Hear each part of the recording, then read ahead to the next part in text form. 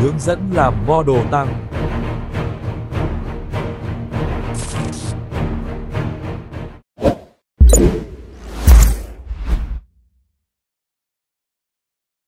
Hôm nay chúng ta sẽ đi tiếp tới à, phần UV Ở cái bước UV này thì thông thường một cái model tăng như thế này thì tối đa cùng lắm là một UDIM thôi Tuy nhiên, để cho nó là một UDIM nhưng độ phân giải texture của nó phải là cao nhất có thể, thì anh sẽ trồng UV anh sẽ trồng left và right, anh sẽ anh sẽ trồng UV cho nên là chúng ta thực ra chỉ cần trải một bên thôi, left và right chúng ta chỉ cần trải một bên thôi.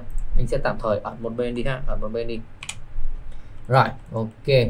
Muốn làm UV ôn lại ôn lại nè. Muốn làm UV thì mở cái UV editor ra, đúng không?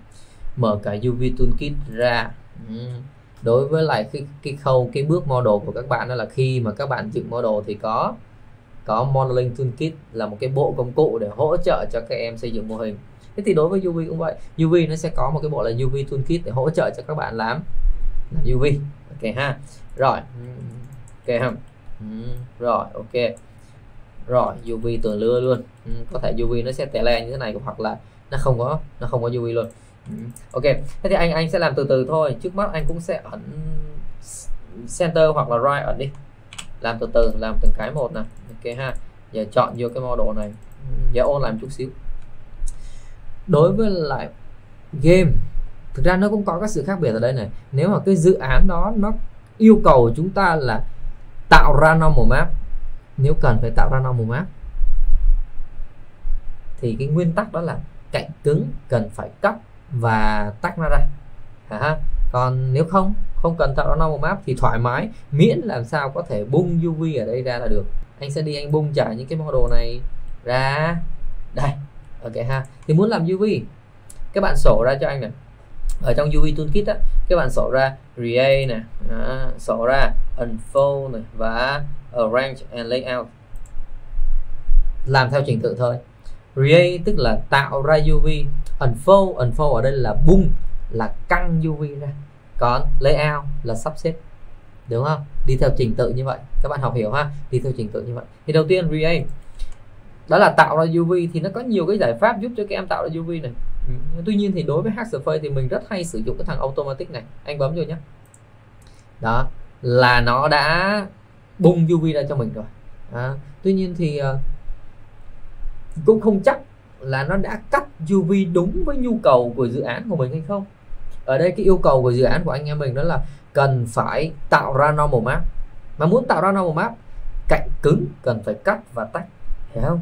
Thế thì đi tìm thử xem nào xem nó đã làm đúng với lại cái cái cái nhu cầu của mình hay chưa.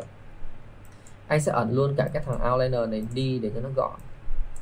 Rồi kéo nó vô đây một chút. Rồi ok này. Hiểu không? Thì các em xem thử. Nhớ lưu ý khi mà chúng ta bật cái tính năng này lên á, thì các em sẽ thấy là cái cạnh nó sáng là cái cạnh nào là cạnh cạnh cắt rồi thì nó sẽ nó sẽ sáng lên này. Hiểu không?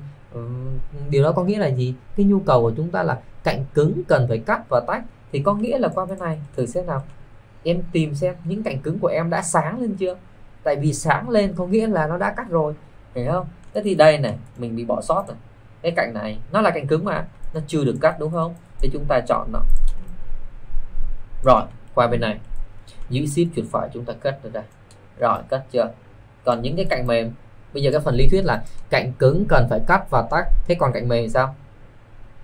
Cạnh mềm thì tùy, đúng không? Làm sao để có thể bung trải cái model này ra là được? Tuy nhiên, mình phải cố gắng mình, cái thằng nào không cần thiết thì mình đừng có cắt. Không cần thiết thì mình phải hàn nó lại.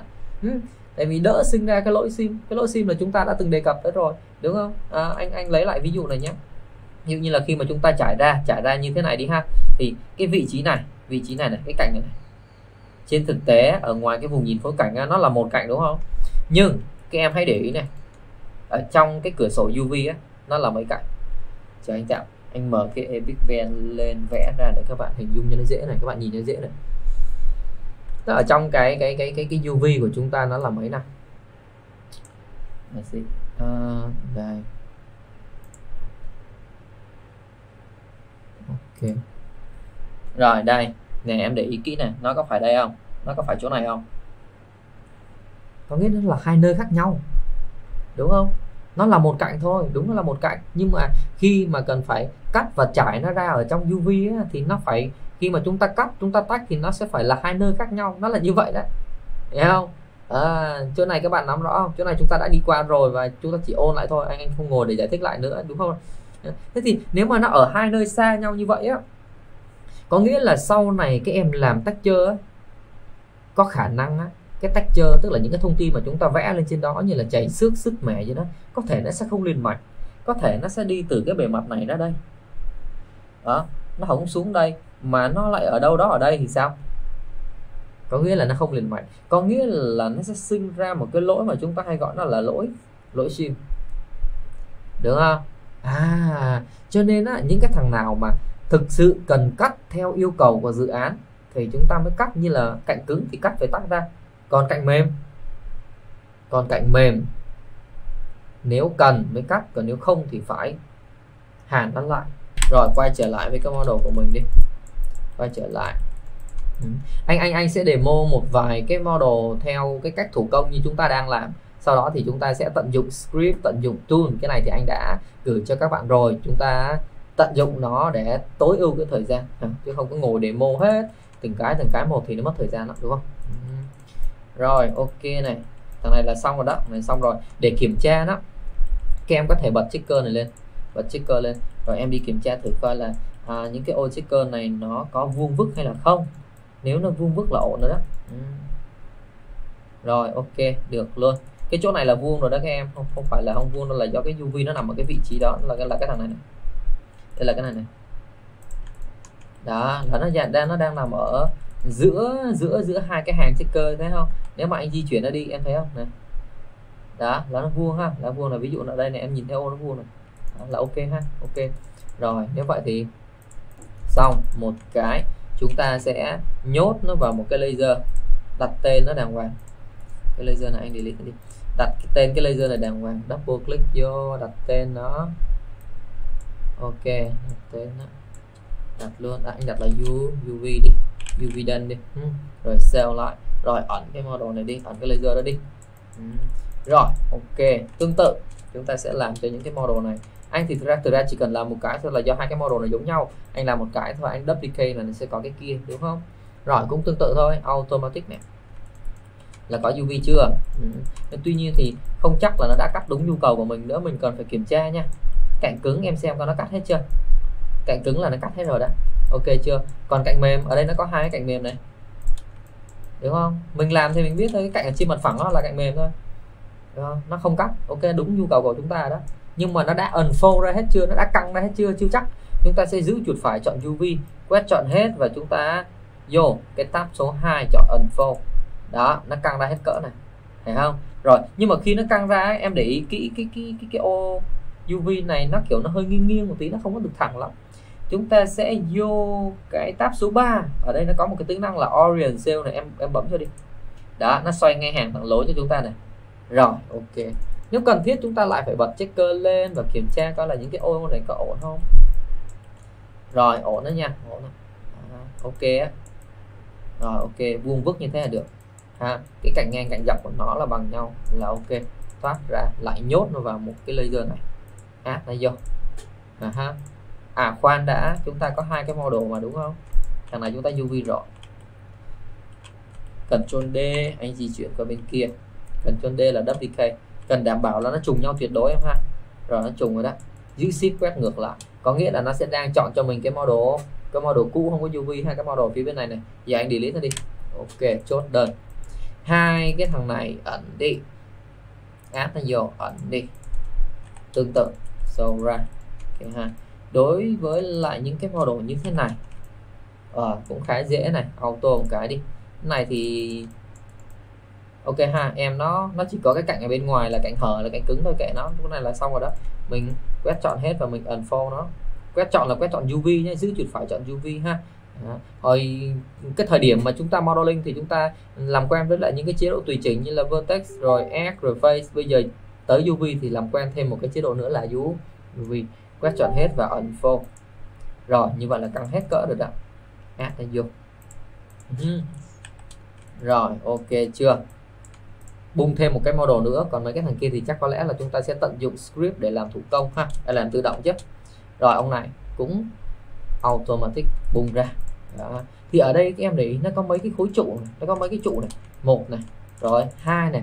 Thì hai cái này là giống như cái khối trụ ban nãy á. chúng ta cần phải chọn, tìm một cạnh để chúng ta cắt thì nó mới bung ra được. Đúng không? Còn mấy cái kia thì có vẻ nó đã bung rồi đấy em mấy cái kia có vẻ là nó đã bung hợp lý rồi đó à đây nó còn có một cái khối trụ như vậy nữa này. Thấy không?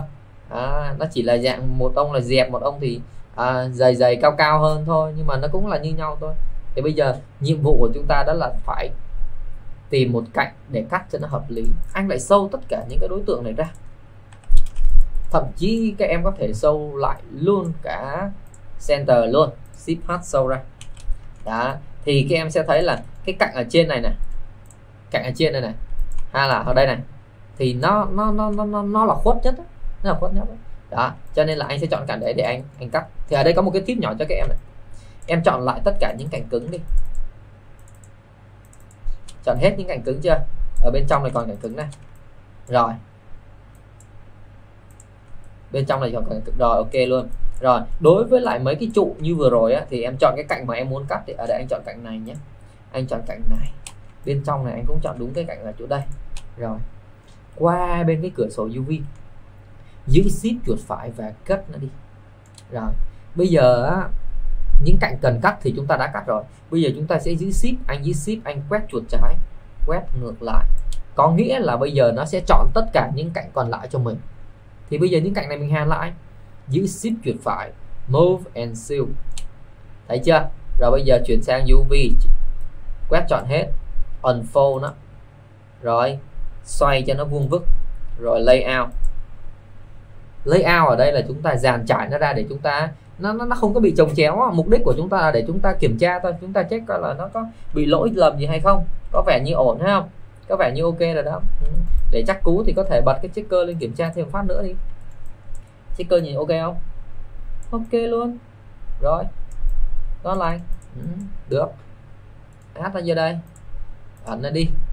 Đấy, ok ha. Tương tự như vậy, cứ làm lần lượt thôi.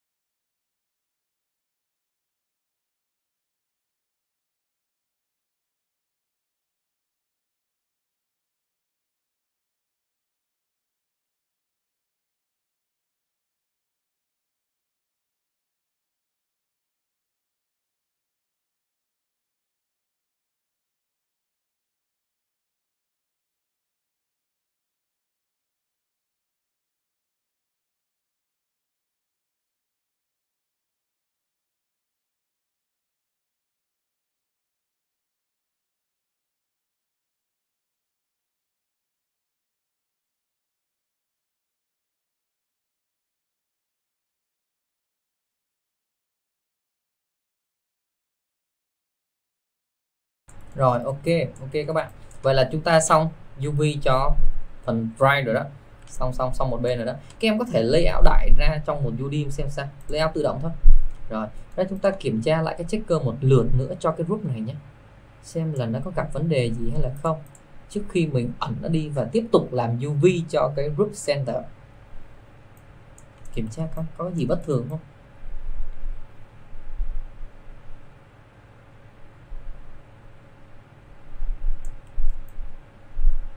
Có vẻ ok em, có vẻ ok đấy. Rồi, ok, chốt chốt đơn. Và bây giờ anh sẽ ẩn nó đi. Nhốt nó đi. Ok. Mình tập trung cho UV của phần center. Sau khi mình làm xong thì mới layout tất cả nó. Và em nhớ nhé left và right chúng ta sẽ trồng sẽ trồng UV đấy. Mà trồng UV thì sao? Trồng UV thì sẽ giống texture. Giống texture. Thực ra đối với là những cái dự án làm game thì giống texture, nhớ bên left và bên right nó không phải là vấn đề đâu thấy không? Trừ những cái trường hợp ngoại lệ thì chút xíu nó vô. Sau khi layout xong anh sẽ nói về trường hợp ngoại lệ nhé. Rồi ok bây giờ mình lại số. Mình center ra shift h show show center ra. Có thể um, right này bây giờ mình cần h mình ẩn luôn. Còn đối với lại cái group left rồi này mình delete luôn cũng được luôn. Sau này mình sẽ tạo nó ra lại đúng không? Duplicate cái group right này ra cái group mà nó có UV ấy, thì WK ra thì thằng kia nó cũng có UV và chúng ta đặt tên lại cho nó là left thôi đơn giản ha. Ừ. rồi tới đây. Vô này anh anh cũng sẽ ưu tiên cái thằng lớn tiền lớn. Thì trước mắt mình kiểm tra lại xem là cái cạnh cứng cạnh mềm và các thứ mình đã setting đúng hay là chưa. Có vẻ là đúng rồi đó. Bây giờ mình chạy lại này.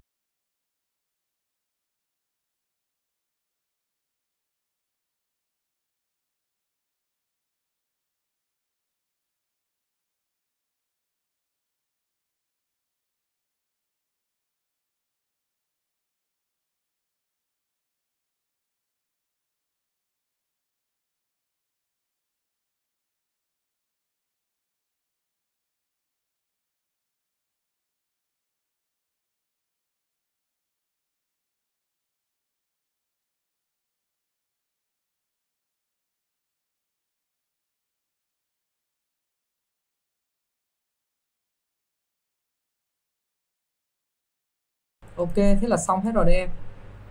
Xong hết. Đúng không? Nguyên cái nhóm này chúng ta cũng history, free transform nó đi cho nó sạch. Ừ. rồi, ok. Ồ, ngộ một cái là các thằng này nó nằm ở trong group nào vậy? Nó nằm ở trong cái group group nào? Nó lẽ ra phải nằm ở trong cái group right mới đúng đúng không? So right đây nhé. Đây, mấy cái con ốc này này em này à chắc có lẽ là do hồi nãy chúng ta combine á. Đúng không? Nó sẽ nằm ở trong cái group right, em em đưa nó vào cái group right lại nhé rồi, ok. Hồi nãy á, là trong quá trình anh làm UV á, để làm nhanh một loạt những con ốc đó thì anh combine nó lại. Combine nó lại, sau đó thì anh, sau khi anh bung, sau rồi anh sẽ xả nó ra. Vì khi thì khi mà xả nó ra nó, khi mà mình combine nó sẽ nó sẽ bị ra ngoài, nó sẽ nhảy ra ngoài. Giờ mình đưa nó vô trong lại thôi. Ừ. rồi nguyên cái nhóm này, trước khi mà chúng ta vô chúng ta layout á thì nhớ uh, history free transform nó đi. Thậm chí em reset transform luôn cũng được luôn. Đối với lại cái cái group này nó không chứa gì nữa cả mình optimizing để coi. Coi nó có sạch cho mình không? Nó sạch luôn này. Ok ha. Rồi ok. Cái UV này anh cũng delete luôn anh không cần luôn. Không cần xài nó nữa. Delete và delete luôn. Rồi ok luôn. Bây giờ mình layout này. Quét chọn nguyên cái nhóm này. Anh sẽ ưu tiên layout tự động trước đã. Ừ. ưu tiên layout tự động trước cái đã. Thì muốn layout tự động như vừa rồi thì mình cũng layout tự động đó. Em thử em bấm lại này. Nhưng mà cái setting này là cái setting mặc định. Và khi em layout setting mặc định như vậy á, em zoom sát vô coi. Em để ý là UV của nó có thể nó sẽ bị dính nha. Dính dính dính. Hoặc là khá sát. Ví dụ như chỗ này là dính em này. Dính này dính này. Thấy không? Nếu mà nó dính như vậy có nghĩa là sau này cái em vẽ texture sẽ có vấn đề ví dụ em vẽ ở bên này thì nó sẽ dính dính vào bên kia, nó sẽ bị lỗi. Hoặc là chúng ta break normal map nó sẽ bị lỗi. Cho nên á, anh sẽ vô modify, vô layout, vô option. Vô đây. Rồi. Ok, có một cái lưu ý này em này. Đối với lại, em edit, em reset nó trước rồi đây nhé reset này. Rồi, ok này. Có một cái lưu ý cái uh, cái, cái cái cái tính năng này nè cái tính năng này nè nó nó thì nó mặc định nó đã là như vậy rồi. Các em cũng sẽ để mặc định nó đi. Nhưng mà có một cái lưu ý là